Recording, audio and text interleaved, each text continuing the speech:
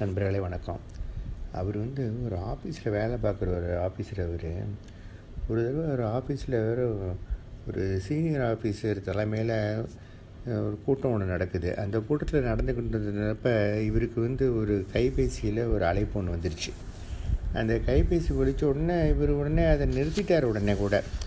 ஆனாலும் அந்த senior officer வந்து இவர் மேலே நடவடிக்கை எடுத்து விட்டார் கைபேசி அணைச்சி வைக்காமல் கூட்டத்தில் எப்படி நீ கலந்துக்கலாம்னு சொல்லி இவர் மேலே குற்றம் சுமத்தி இவரை வேற ஒரு ஊருக்கு கூட மாத்தல் போட்டு விட்டார். இவருக்கு ரொம்ப மன வேதனையாகவும் நடந்து நினச்சி அப்படியே தூக்கம் இல்லாமல் சிரமப்பட்டுக்கிட்டு இருக்காரு. இந்த மாதிரி சின்ன தவறுக்கு போய் பெரிய தண்டனை எப்படி கொடுக்கலான்னு சொல்லி மனசுக்குள்ளே அப்படியே மருவிக்கிட்டே இருக்கிறாரு. மன வேதனை ரொம்ப நீடித்து வந்ததுனால அவர் நம்மக்கிட்ட தீர்வுக்கு வந்து கேட்டார். அப்போ அவருக்கு சில சங்கதியை பற்றியெல்லாம் அவருக்கு கொஞ்சம் விளக்கம் சொல்ல நினச்சிது இப்போ ஒரு நிகழ்ச்சியானது நடந்து முடிஞ்சிடுச்சு அது நம்மளுக்கு பிடிக்காத நிகழ்ச்சியாக இருந்ததால் அதை பற்றிய நினைவு வந்து இந்த தாட்டு நம்மளை அறியாமல் மீண்டும் மீண்டும் வந்துக்கிட்டே இருக்குது. நாம் விரும்பி ஒன்றும் அந்த தாட்டை கொண்டாடல நம்ம. அந்த நினைவு வந்து நம்மளை அறியாமல் நம்மளுக்கு ஏற்பட்டு நம்ம தாக்கிக்கிட்டே இருக்குது. அது அப்படி ஏற்பட்டு நம்மளுடைய மன வருத்தத்தை அப்படியே கிளறிக்கிட்டே இருக்குது. ஆனால் இந்த நினைவு வந்து நம்ம அறியாமல் தான் ஏற்படுது. நாம ஒன்றும் இந்த நினைவை இதில் கொண்டு வரல. இதுதான் நினைவுங்கிறது. அது அதுவாக தான் ஏற்படுது. இந்த நினைவு தான் தாட்டுன்னு சொல்லி நம்ம சொல்கிறோம் இதுக்கு நம்ம ஒன்றும் பொறுப்பு கிடையாது. இதுக்கு நம்மளுடைய உணர்வுபூர்வ பங்களிப்பு ஒன்றும் இந்த இடத்துல கிடையாது. அந்த மாதிரி நினைவு ஏற்பட்டதும் நாம் அதில் போய் பங்களிக்க ஆரம்பிச்சிடுறோம். அவர் இப்படி நடந்துக்கிட்டது சரியில்லை. அவர் விடக்கூடாது. இப்படி நாம் சிந்திச்சுக்கிட்டு இருக்கோம். இதுதான் திங்கிங்னு நம்ம சொல்கிறோம் இப்படி நாம் சிந்தனை செய்கிறதுனால சிந்திச்சுக்கிட்டு இருக்கிறதுனால நம்மளுக்கு மன அழுத்தம் வந்து ரொம்பவும் அதிகமாக ஆரம்பிச்சிடுது. ராத்திரியில் தூக்கம் கூட வர மாட்டேங்குது தேவையில்லாமல் அதை பற்றியே சிந்திச்சுக்கிட்டு இருக்கோம். தூக்கம் கெடுதுன்னு கூட சிந்திக்கிறோம். இப்படி நம்மளோட சிந்தித்தலோட நம்மளுடைய பங்களிப்பு இந்த இடத்துல இருக்குது. நம்மளுடைய தாட்டு அதாவது நினைவில் வந்து நம்மளோட பங்களிப்பு கிடையாது. நினைவு எல்லாமே நம்ம அறியாமல் தான் ஏற்படுது. ஆனால் அப்படி ஏற்படுற நினைவு அப்புறம் அதோடைய அதனால் ஏற்படுற அந்த உணர்வோட ஆயுள் பார்த்தோம்னா ஜஸ்ட்டு ஒரு அரை மினிட் தான் இருக்குது. ஆனால் இந்த திங்கிங்கிற சிந்தித்தல் வந்து அந்த மாதிரி கிடையாது. சிந்திக்கிறதுல எல்லாமே நாம தான் ஏற்படுத்துகிறோம் நாம அதில் பங்கேற்று சிந்திக்கிறதுனால நம்மளோட நினைவும் உணர்வும் அப்படியே புதுக்கிப்பிட்டு வந்துகிட்டே இருக்குது. தானாக மறைய வேண்டிய நினைவும் உணர்வும் மீண்டும் மீண்டும் உயிர் பெற்று போயிடுது இந்த இடத்துல. இப்போ அந்த அன்பருக்கு கொடுக்கப்பட்ட தண்டனை அதிகபட்சமாக இருக்கிற பட்சத்தில் அவர் அதனை சட்டபூர்வமாக கூட அணுகலாம். மேல்முறையோடு கூட செஞ்சுக்கலாம்.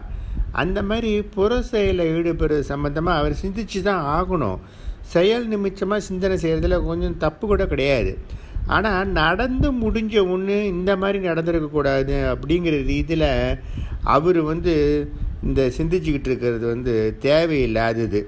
அதுதான் நமக்கு மனோ ரீதியான பிரச்சனைகளுக்கெல்லாம் காரணமாகவும் ஆகி போயிடுது. அதை பற்றிய நினைவு வர்றது இயற்கையானது தான் குற்றமற்றது அதெல்லாம். அதெல்லாம் தானாக தான் ஏற்படுது. நம்ம அறியாமல் தான் ஏற்படுது. அது தானாக கூட மறைஞ்சு போயிடும். ஆரம்பத்தில் அஞ்சு நிமிஷத்துக்கு ஒரு தடவை அது வரலாம். நாம் வந்து அதை சிந்தித்தலை திங்கிங்காக மாற்றாத பட்சத்தில் அதோடய வேகம் கூட அப்படியே குறைஞ்சி போயிடும். அதுக்கப்புறமா பத்து நிமிஷத்துக்கு ஒரு தடவையோ இல்லை இருபது நிமிஷத்துக்கு ஒரு தடவையோ வரலாம். அப்புறம் சில மணி நேரத்துக்கு ஒரு தடவையோ சில நாட்களுக்கு ஒரு தடவையோ ஏற்பட்டு அதுக்கப்புறம் அது வராமல் கூட போயிடலாம். ஆனால் நாம் அதில் போய் பங்கேற்று அதை சிந்தித்தலை திங்கிங்காக மாற்றுறப்ப அது ஒன்றும் தானாக மறையாது. அது ஆத்திரமாக கூட வெளிப்பட்டு போயிடும். சமயத்தில் அது வன்மமாக கூட நம்மள்கிட்ட குடியேறிடும். அது நினைவாக மட்டும் இருக்கிற பட்சத்தில் ஒரு நாள் அது வன்மமாக மாறாது. இந்த ஆனால் அது அந்த மாதிரி நினைவாக இருக்கிறப்ப அதெல்லாம் தானாக வெளிப்பட்டு தானாக கூட சீக்கிரத்தில் மறைஞ்சு போயிடும். அதே சமயத்தில் அது வன்மமாக மாறி போச்சுன்னு வச்சுக்கோங்களேன். அது வந்து மறைஞ்சிருக்கிற நிலையில் நம்மளை பழி வாங்க காத்துக்கிட்டே துடிச்சிக்கிட்டு இருக்கும். இதை பற்றி நம்ம இன்றைக்கி நாளைக்கு இன்னும் கொஞ்சம் விவரமாக பேசலாம். நன்றி வணக்கம். நண்பர்களே வணக்கம். நம்ம நேற்று வந்து இந்த தாட் அண்ட் திங்கிங்கை பற்றி பேசிகிட்டு இருந்தோம். இப்போ இப்போ வந்து ஒருத்தரை விடக்கூடாதுன்னு திருப்பி திருப்பி நம்ம சிந்திப்போம்னு வச்சுக்கோங்களேன் அதுவே வன்மமாக நம்மளுக்குள்ளே அப்படியே பதிவாகி போயிடுது. நமக்கு பாதிப்பை ஏற்படுத்தினவர் வந்து ரொம்ப பெரியவராக இருந்து அவரை பழி வாங்கிறதுக்கு நமக்கு சாத்தியமே இல்லாத பட்சத்தில் நம்மளுடைய வன்மம் வந்து நம்மளுக்குள்ளார ஒரு அவநம்பிக்கையும் ஒரு தாழ்வு மனப்பான்மையும் கூட ஏற்படுத்திவிடும் இப்போ நினைவுகளால் நம்மளுடைய இயல்பில் வந்து எந்த விதமான மாற்றமும் ஒன்றும் வரப்போகிறது கிடையாது. ஆனால் இந்த உணர்வு பூர்வமான நம்மளுடைய சிந்தித்தல் இந்த திங்கிங்கள் காரணமாக நம்மளோட இயல்பில் வந்து மாற்றம் வந்துடுது. நம்மளோட இயலாமையை நினச்சி நம்ம அப்படியே மருகிக்கிட்டு இருக்கிறப்ப அப்படியே நம்ம மனநோயாளியாக கூட மாறி போயிடுறோம். இந்த துன்பம் கொடுத்துறோம் விடக்கூடாது விடக்கூடாதுன்னு சிந்திச்சுக்கிட்டு இருக்கிறது வந்து ஒரு மாதிரி ஒரு குதர்க்க வியாதியாகவும் ஒரு பிரச்சனை மிகுந்தராகவும் வன்முறையாளராகவும் கூட இந்த இதில் மாறி போயிடாரு ஆனால் இந்த புறச்செயல் எல்லாத்தையும் நம்ம சிந்திச்சு தான் செயல்படுத்த வேண்டியிருக்கு.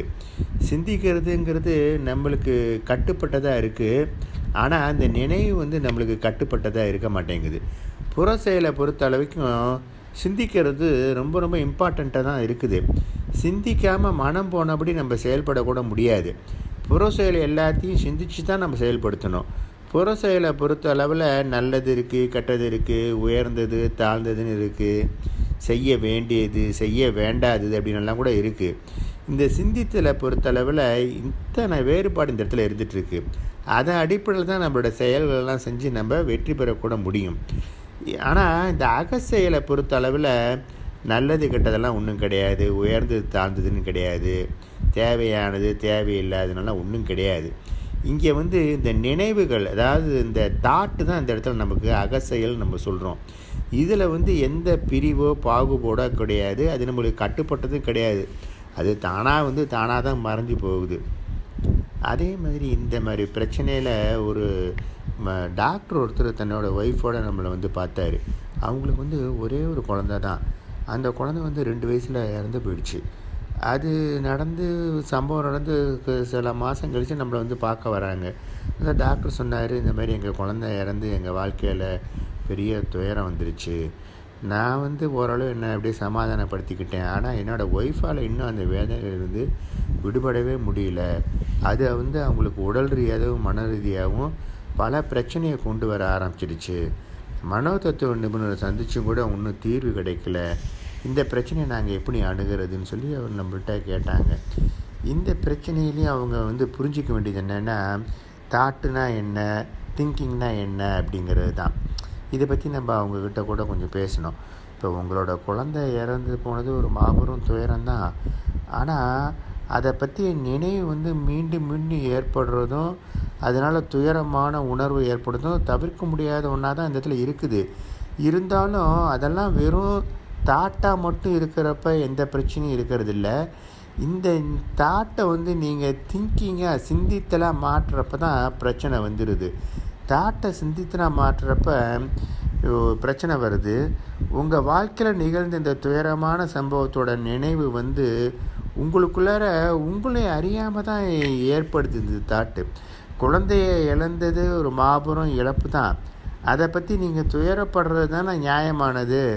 துயரப்படாமல் இருக்கிறது தான் நியாயம் இல்லாதுன்னு சொல்லி நம்மளே வந்து இந்த நினைவுகளை எல்லாம் அப்படியே நியாயப்படுத்திடுறோம்.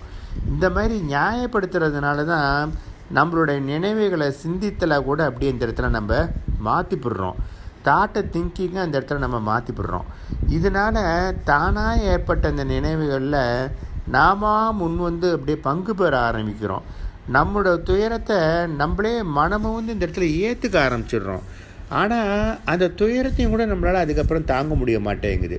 இதய துடிப்பு அப்படியே அதிகமாகி போயிடுது நம்ம அப்படியே பயமுறுத்துது எந்த நேரத்திலும் கூட மயக்கம் கூட வந்துடுது எந்த நேரத்திலும் ஒரு மாதிரி மன முறிவு ஏற்பட்டுடலாம் கூட அதை அப்படியே சிந்திக்க ஆரம்பிச்சிடுறோம். இதனால் நம்முடைய நினைவு எல்லாமே அப்படியே சிந்தியத்தில் டோட்டலாக மாறி போயிடுது. தாட் எல்லாம் அப்படியே திங்கிங்காக எல்லாம் மாறி போயிடுது. அதனால் ஆனால் அந்த நினைவுகள் வந்து இருக்குது பார்த்தீங்கல்ல தாட்டு இதெல்லாம் தானாக தான் ஏற்படுது. தானாக ஏற்பட்டதெல்லாம் தானாகவே மறைஞ்சு கூட போயிடுது. நினைவுகளும் அதனால் ஏற்பட்ட அந்த துயர உணர்வுகளும் தானாக ஏற்பட்டு தானாக மறைஞ்சு போயிட்டு தான் இருக்குது எல்லாத்துக்கும். அதை போய் சீரமைக்கிறதுக்கு நம்ம முயற்சி எதுவுமே தேவை கிடையாது.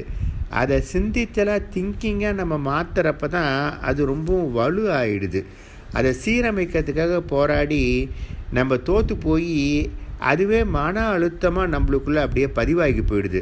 அது அப்படியே மன வியாதியாக கூட அப்படியே மாறிடுது. இந்த மாதிரி இந்த தாட்டையும் திங்கிங்கையும் நம்ம புரிஞ்சுக்கிட்டு இந்த நினைவுகளில் போய் தாட்டில் போய் நம்ம குறுக்கிட தேவையில்லை அப்படிங்கிறத நல்லா புரிஞ்சிக்கிறப்ப தான் இதுக்கு எல்லாத்துக்கும் ஒரு தீர்வு கூட வர ஆரம்பிக்குது. நன்றி வணக்கம்.